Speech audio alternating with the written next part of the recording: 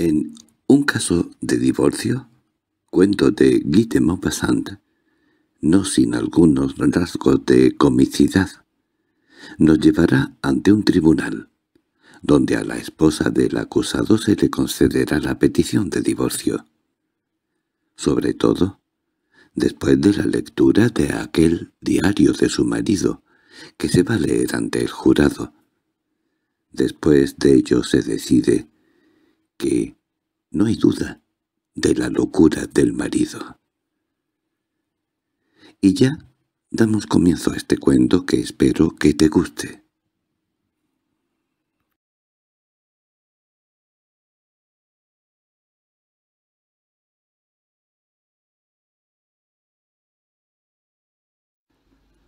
Un caso de divorcio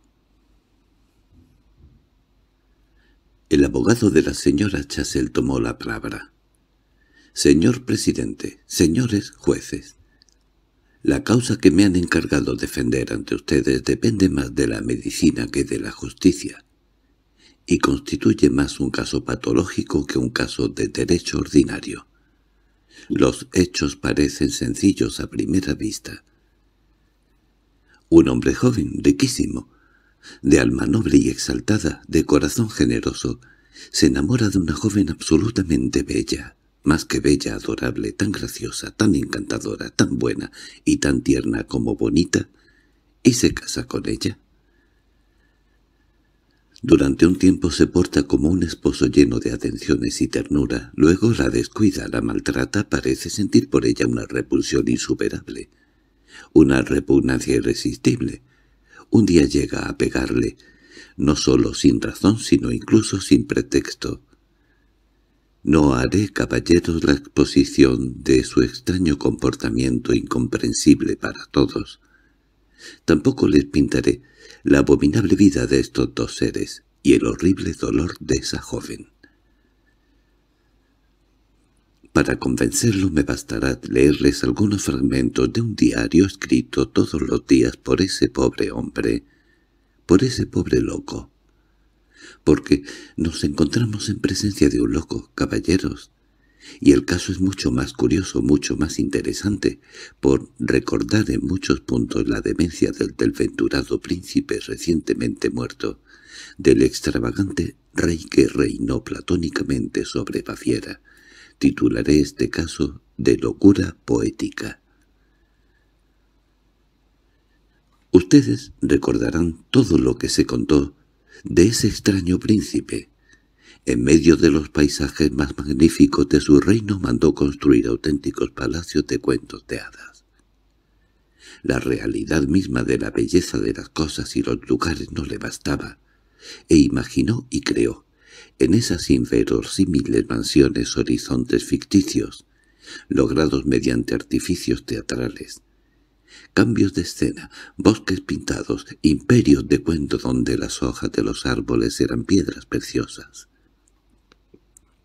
Tuvo al mismo tiempo Alpes y glaciares, estepas y desiertos de arena quemados por el sol, y, de noche, bajo los rayos de una luna auténtica, lagos que iluminaban por debajo fantásticas luces eléctricas.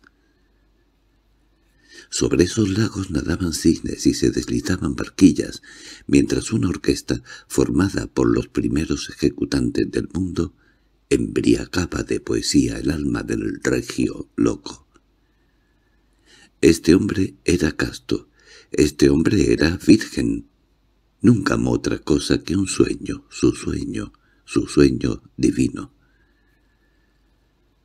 Una noche llevó a su barca una mujer joven, bella, a una gran artista, y le rogó que cantase. La mujer cantó, embriagada a su vez por el paisaje admirable, por la suavidad tibia del aire, por el aroma de las flores, y por el éxtasis de aquel príncipe joven y bello. Cantó como cantan las mujeres tocadas por el amor y luego enloquecida, temblorosa, cayó sobre el pecho del rey buscando sus labios. Pero él la tiró al lago, y cogiendo los remos ganó la orilla sin preocuparse si la salvaban. Nos hallamos, señores jueces, ante un caso igual. Me bastará leerles, ahora, varios pasajes del diario que hemos encontrado en un cajón de su escritorio. Qué triste y feo es todo, siempre igual, siempre odioso. Como sueño con una tierra más hermosa, más noble, más variada. Qué pobre sería la imaginación de su Dios si su Dios existiese, o si lo hubiese creado otras cosas en otra parte. Solo bosques, pequeños bosques, ríos que se parecen a ríos, llanuras que se parecen a llanuras, todo semejante y monótono. Y el hombre. ¿El hombre? ¡Qué animal horrible, malvado, orgulloso y repugnante! Habría que amar, amar frenéticamente sin ver lo que se ama, porque ver es comprender y comprender es despreciar. Habría que amar emborrachándose de ella como uno se emborracha de vino, de tal forma que no se sepa ya lo que se bebe, y beber, beber, beber y beber, sin recuperar el aliento día y noche. Creo que la he encontrado. En toda su persona hay algo de ideal que no se parece a nada de este mundo y que presta alas a mi sueño, a mi sueño, que me muestra los seres diferentes de lo que son. Es rubia, de un rubio sutil con cabellos que tienen matices inexpresables. Sus ojos son azules. Solo los ojos azules arrebatan mi alma. Toda mujer, la mujer que existe en el fondo de mi corazón, se me aparece en la mirada nada más que en su mirada. ¡Oh, misterio, qué misterio! La mirada. Todo el universo está en ella porque la mirada lo ve, porque lo refleja. Contiene el universo, cosas y seres, bosques y océanos, hombres y animales, puesta de sol, estrellas, artes, todo, todo, todo, la mirada ve, recoge y se lleva todo, y hay algo más en ella. En ella está el alma, el hombre que piensa, el hombre que ama, el hombre que ríe, el hombre que sufre. Mirad los ojos azules de las mujeres, esos que son profundos como el mar, cambiantes como el cielo, tan dulces, tan dulces, dulces como las brisas, dulces como la música, dulces como los besos, y transparentes, tan claros que se ve detrás de ellos. Se ve el alma, el alma azul que los colora, que los anima, que los diviniza. Sí, el alma. Tiene el color de la mirada. Solo el alma azul contiene el sueño. Ha tomado su azul de las olas y del espacio. La mirada, pensad en ella, la mirada. Bebe la vida aparente para alimentar el pensamiento. Bebe el mundo, el color, el movimiento, los libros, los cuadros, cuanto es hermoso y cuanto es feo, y lo convierte en ideas y cuando nos mira nos da la sensación de una felicidad que no es de este mundo. Nos hace presentir lo que siempre ignoraremos, nos hace comprender que las realidades de nuestros sueños son basura despreciable. La amo también por su forma de caminar. Incluso cuando el pájaro camina se nota que tiene alas, ha dicho el poeta. Cuando pasa se nota que es una raza distinta a las mujeres ordinarias, de una raza más sutil, más divina. Mañana me caso con ella, tengo miedo. Tengo miedo a tantas cosas. Dos animales, dos perros, dos lobos, dos zorros merodean por los bosques y se encuentran. Uno es macho, el otro hembra. Se acoplan, se acoplan por un instinto bestial que los fuerza a continuar la raza, su raza cuya forma, pelo, tamaño, movimientos y hábitos tienen. Todos los animales hacen lo mismo sin saber por qué.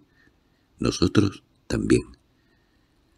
Es lo único que he hecho casándome con ella. He obedecido ese imbécil arrebato que nos lanza hacia la hembra. Es mi mujer. Mientras la deseé de forma ideal fue para mí el sueño irrealizable a punto de realizarse. A partir del segundo mismo en que la tuve en mis brazos no fue más que el ser del que se ha servido la naturaleza para engañar todas mis esperanzas. ¿Las ha decepcionado? No. Y sin embargo estoy harto de ella. Harto de no poder tocarla, de rozarla con mi mano, con mis labios, sin que un asco indecible subleve mi corazón. Tal vez no sea asco de ella, sino un asco más elevado, más grande, más despreciativo, el asco, el abrazo amoroso tan vil, que se ha convertido para todos los seres refinados un acto vencorzoso que hay que ocultar del que solo se habla en voz baja sonrojándose. Yo no soporto ver a mi mujer viniendo hacia mí, llamándome con la sonrisa, la mirada y los brazos, no puedo más. Hubo un tiempo en que creí que su beso me transportaría al cielo. Un día enfermó de una fiebre pasajera y su aliento sentí el soplo ligero, sutil, casi imperceptible, de las pudredumbres humanas. Quedé trastornado. ¡Oh, la carne! Estercolero seductor y viviente, putrefacción que camina, que piensa, que habla, que mira, y que sonríe donde fermentan los alimentos, y que es rosa, bonita, tentadora, engañosa como el alma.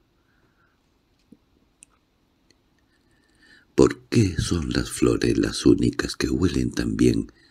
Las grandes flores brillantes o pálidas cuyos tonos y matices hacen estremecerse a mi corazón y enturbian mis ojos. Son tan hermosas, de estructuras tan delicadas, tan variadas y sensuales, entreabiertas como órganos, más tentadoras que bocas, y huecas, con labios vueltos hacia afuera, festoneadas, carnosas, empolvadas con una semilla de vida que engendra en cada una un perfume diferente.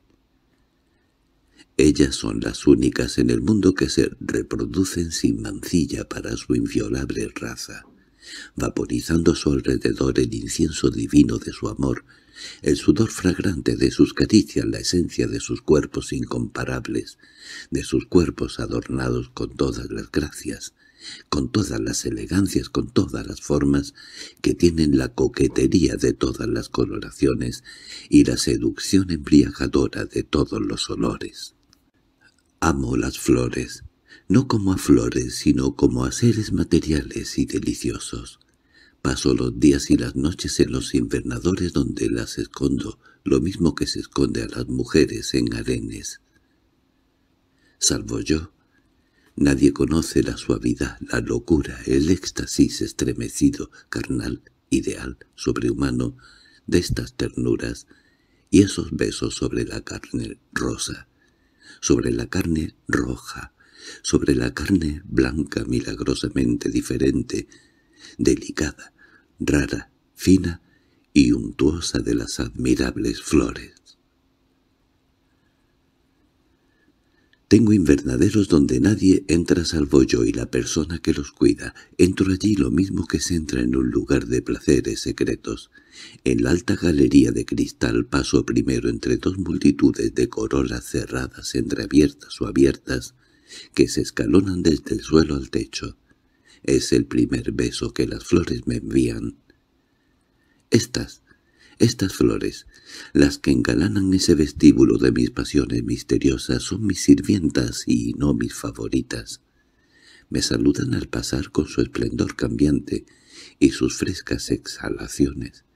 Son lindas, coquetas, y se escalonan en ocho hileras a la derecha y ocho hileras a la izquierda, y tan prietas que parecen dos jardines que llegan hasta mis pies.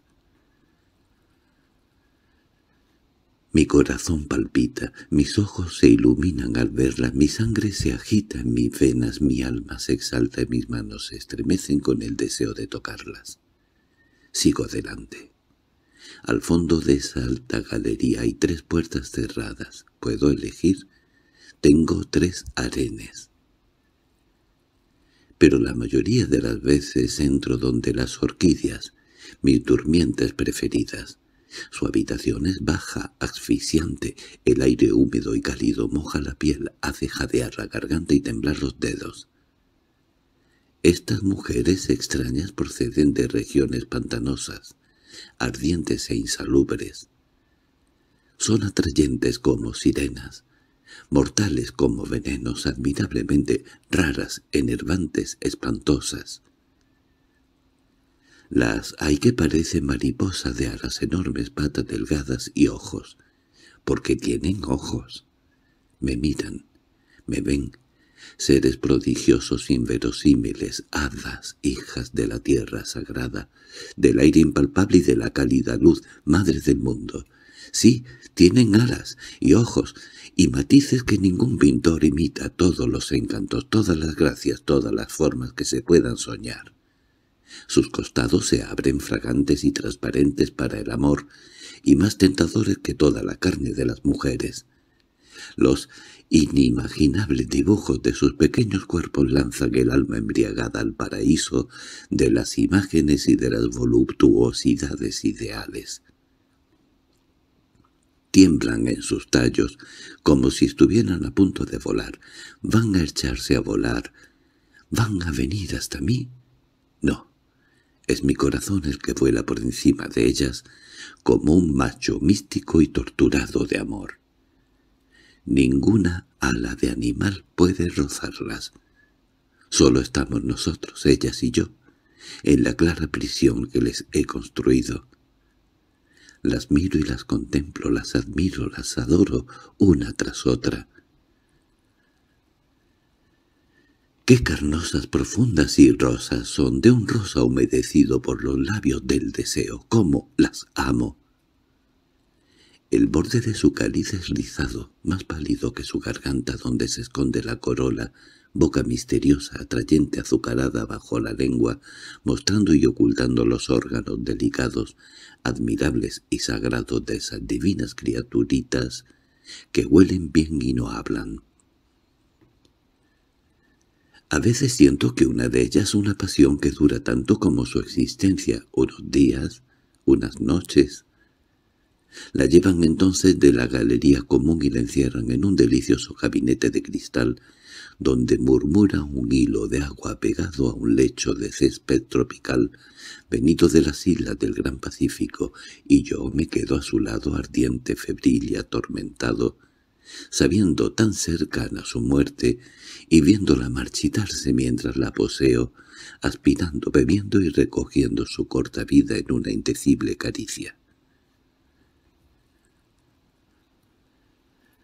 Cuando terminó la lectura de estos fragmentos el abogado prosiguió. La decencia, señores jueces, me impide seguir comunicándoles las siguientes confesiones de este loco vergonzosamente idealista. Estos pocos fragmentos que acabo de leerles bastarán, creo, para apreciar este caso de enfermedad mental. Menos raro es de lo que se supone en nuestra época de demencia histérica y de decadencia corrompida. Juzgo, pues, que mi cliente está más autorizada que ninguna otra mujer a pedir el divorcio, en la situación excepcional en que la pone el extraño desvarío de los sentidos de su esposo. Fin